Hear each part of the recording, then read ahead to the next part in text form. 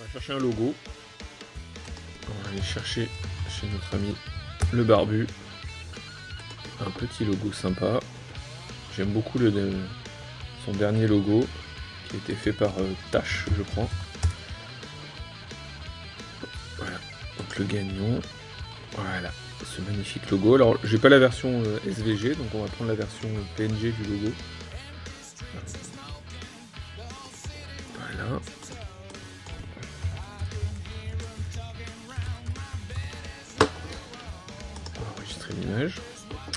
Donc ensuite, euh, on dispose de l'image euh, PNG, mais il nous faut un, DXF pour le, logiciel de gravage.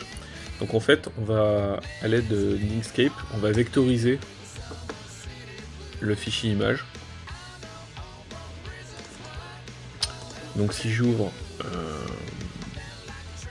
la grande barbu.png, donc là j'ouvre le fichier image, je sélectionne l'image, chemin vectorisé, en niveau de grille, deux passes suffisent. Voilà, j'ai mon magnifique logo vectorisé.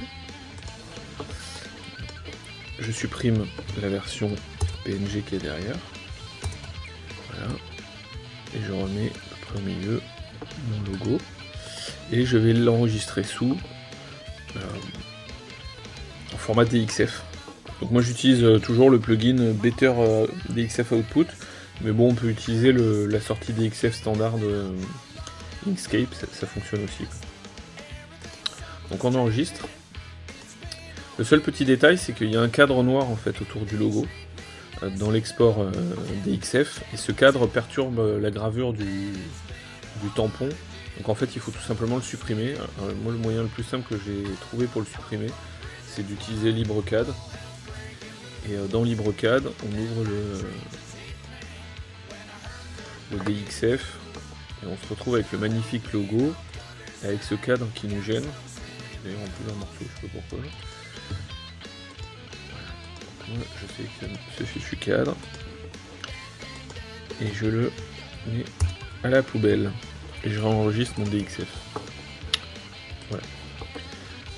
Donc on a un DXF tout propre tout propre avec euh, le logo. Il nous reste à le graver. Alors pour le graver j'utilise un logiciel que j'ai découvert et qui est absolument génial, qui s'appelle F-Engrave, qu'on peut aller télécharger ici. Voilà. Je crois qu'on est en la version 0.4. Euh, donc je télécharge le, zip complet. On va aller dans le dossier. J'ai une version Windows aussi hein, pour ceux qui sont sous Windows.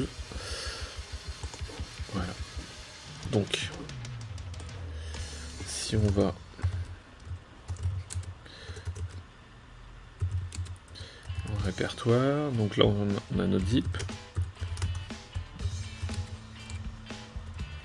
C'est pas, un tar, c'est un zip. Euh, grave, voilà. Donc là, on a le, le logiciel FNGrave. Alors il y a deux choses à faire. Il faut compiler euh, TTF to CXF. Euh, sauf que l'exécutable porte le même nom que le dossier, donc il faut avant tout renommer le dossier.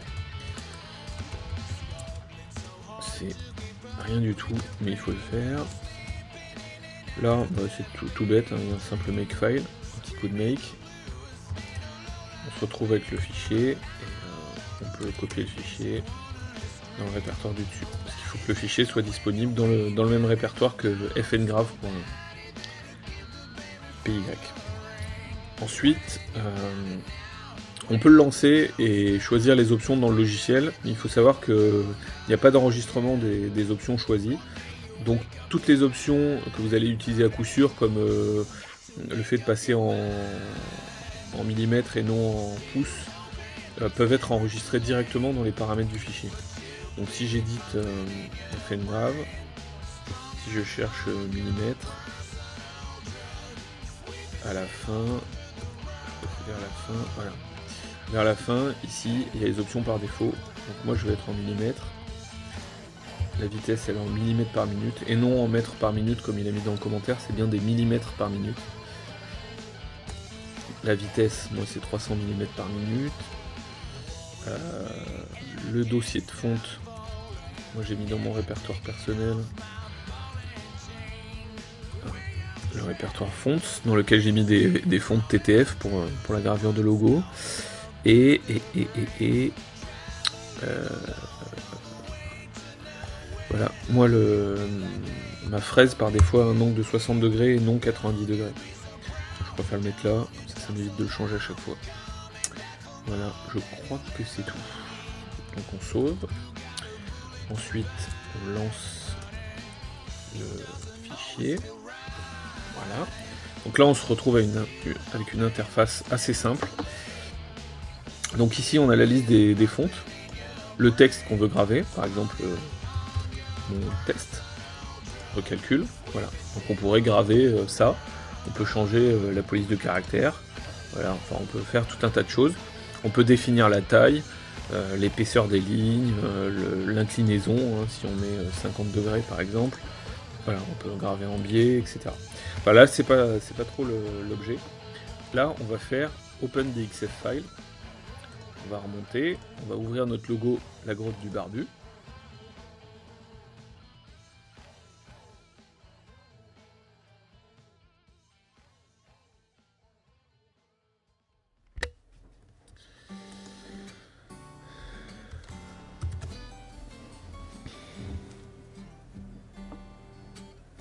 Alors, un détail important, c'est la taille du logo. Là, il est réglé à 1 mm, donc si on le grave comme ça, ça va pas le faire.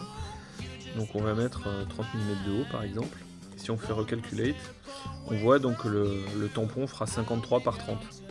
Donc c'est bien euh, de pouvoir voir ça euh, pour calculer la taille du, petit rectangle de lino qu'on va, va devoir découper si jamais on doit le découper avant la gravure.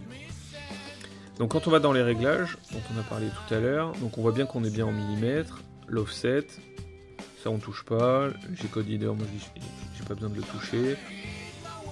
Fond directory, bon il a changé mais peu importe. Euh, bon tout ça, est-ce qu'on trace euh, une box autour du, tampon ou pas? Bon moi je l'ai pas mis. Voilà. Et ensuite VCarve settings, donc c'est là qu'on règle l'angle de la, de la fraise. Donc moi c'est une fraise à 60 degrés, c'est ce que j'avais changé tout à l'heure. Voilà, les autres paramètres, moi je ne les, ai pas touchés. Là aussi, VB diameter, pas que j'oublie, moi c'est 3 mm. Voilà. Euh, une fois qu'on a changé tout ça, des petits détails. Au début je m'étais trompé, le tampon, il faut le graver en miroir. Parce que sinon quand on tamponne, après on tamponne des barbus à l'envers. Ce serait un peu bête. Donc on fait mirror text. Quand on fait mirror text, on s'aperçoit que le 0 est passé à droite. Donc ça c'est un peu embêtant. Donc l'origine, on la met en euh, bottom left. Voilà. Donc on, remet l'origine à gauche. C'est quand même plus propre. Euh, on passe en mode VCarve, bien sûr. Euh, ici, pour éviter les bugs d'affichage, on enlève le texte. C'est plus simple, on met qu'une lettre. Ça évite qu'il y ait des warnings quand on lance la gravure. Même si ça n'a aucune incidence après derrière, il vaut mieux éviter. Donc là, euh, on a notre tampon qui est paramétré, tout est, tout est paramétré correctement.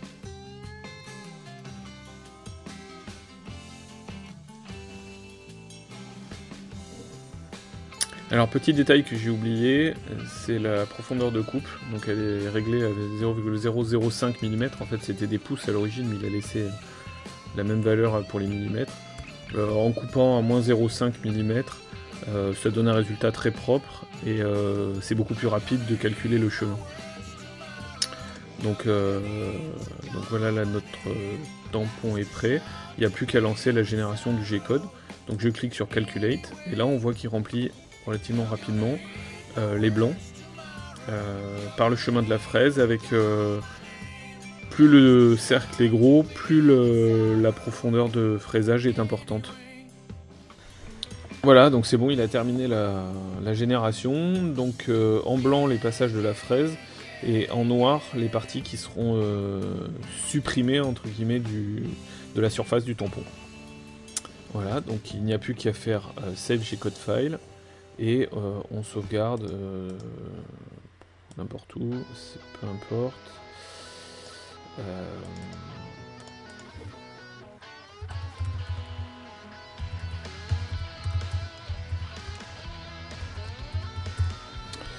voilà, sauvegarder. Et eh ben on a terminé, il n'y a plus qu'à envoyer ça sur euh, la machine qui sert à la gravure. Et euh, EMC se fera un plaisir de transformer ça en tampon, comment elle va voir dans la suite? Pour graver, nous utilisons des, plaques de, linoléum qui ont été achetées là dans un magasin d'art graphique, mais à mon avis du linoléum pour les sols conviendrait aussi bien. Donc un petit morceau qui est découpé au, cutter. Euh, ce petit morceau qu'on a découpé donc à peu près à la taille du légèrement au-dessus de la taille du tampon euh, on va le coller à la néoprène sur une, planche de bois qui nous servira de support qui elle-même sera ensuite alors là on va pas le voir dans la vidéo parce que ce serait trop long mais qui elle-même sera euh, découpée à la fraiseuse ainsi qu'une petite poignée qu'on viendra coller au dos du tampon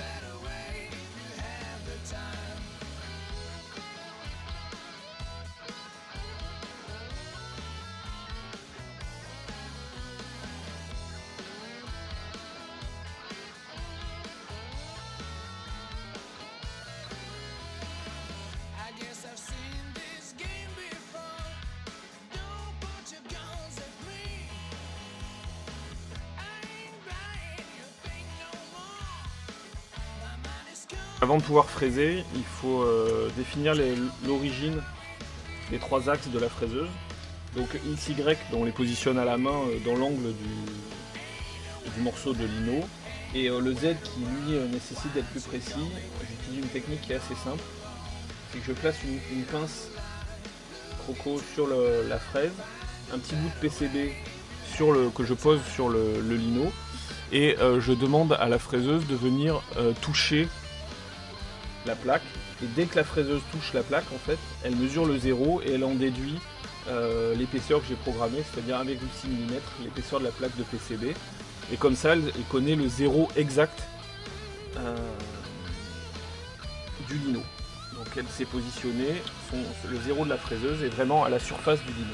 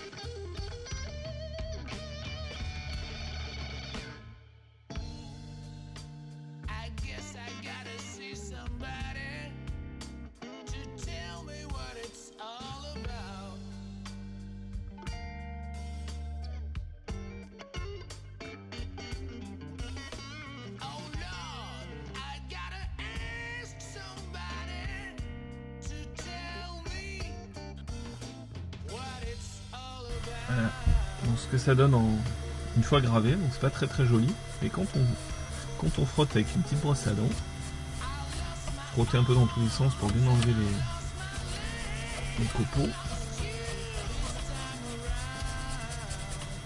Pas hésiter à bien bien frotter pour tout, décoller tous les, les copeaux.